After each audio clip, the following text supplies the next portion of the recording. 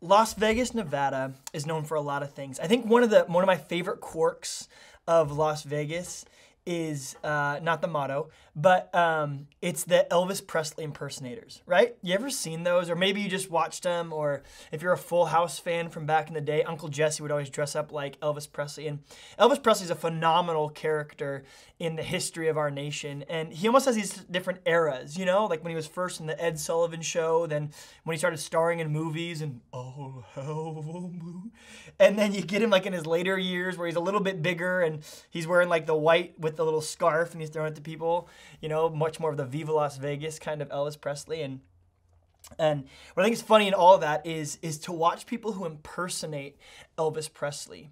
And if I told you right now that I was going to impersonate Elvis Presley, there's a thousand things I could do, especially because he's got so many different eras. You know, I could do like the big hair thing where he's got that, and uh, or maybe I do the big white suit. And absolutely, though, if I said I want you to imitate Elvis Presley, and then I gave you a line to say, and the line was, Thank you. Thank you very much.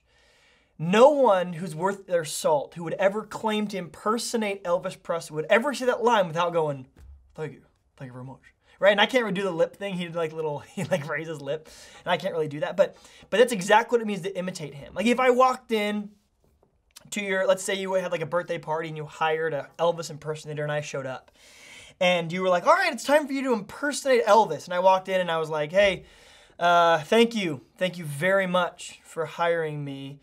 Um, as you can see, I am Elvis Presley. Um, I am wearing a corduroy uh, jumpsuit today. You would go, no, that's not Elvis.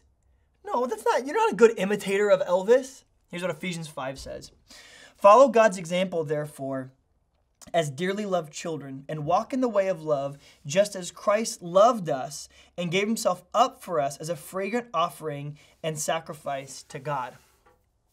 So the Bible says, think about Elvis and what it would mean to impersonate him. And if you wanted to walk around and I wanted you to know that I was really, really into Elvis, right? There's a lot of things I could do. There's a lot of ways I could dress. There's a lot, but there are also ways that I could dress and things that I could say that would be very non Elvis, right? Like if I wore a modern day outfit or if I wore like a, um, a Dodgers jersey, right? Like that's kind of my team. But if I wore a Dodgers jersey, I'm like, look, I'm Elvis. Everyone would go, what does that have to do with anything?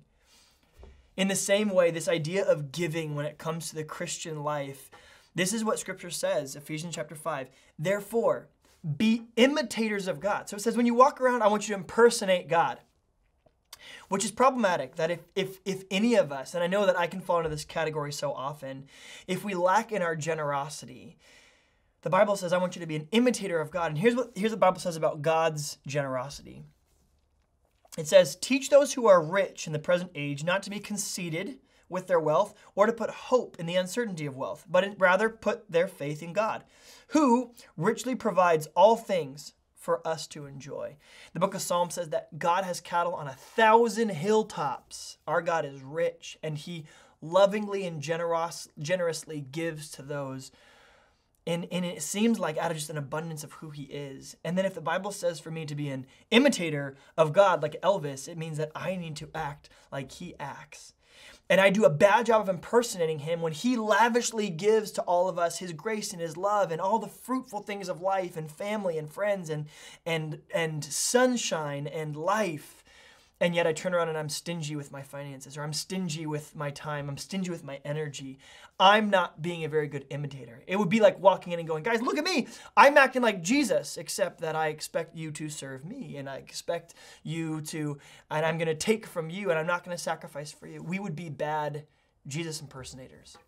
Just like a bad Elvis impersonator would say, thank you, thank you very much. So would a bad Jesus impersonator be stingy with their finances or not giving generously with their time, talent, energy, resources, and money. Let us be imitators of God's generosity.